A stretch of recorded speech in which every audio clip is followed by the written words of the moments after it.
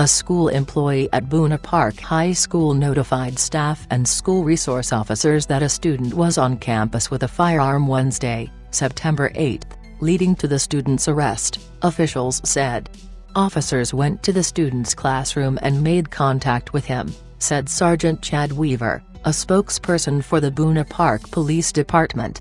The student attempted to flee but was safely detained after a brief struggle and a loaded 9mm handgun was found in his pant pocket, officials said.